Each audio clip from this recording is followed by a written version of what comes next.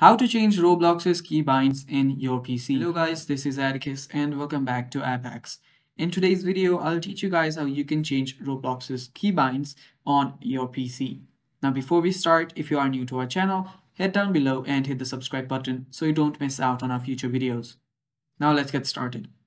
First of all, what you need to do is open up your Roblox and then log in. After you log in, simply open up a game that you want. After you open up a game, you start playing it and you'll need to head over to the settings.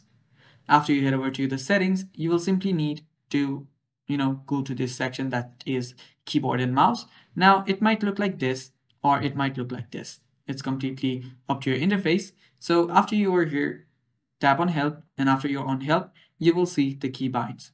Now you can simply tap on one to change it and you can simply head over here and it's the same process for here.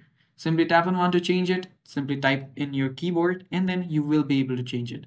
And it's that simple guys. That is how you change the keybinds in your Roblox. Thanks for watching. Stay tuned for more upcoming videos and bye bye. Take care.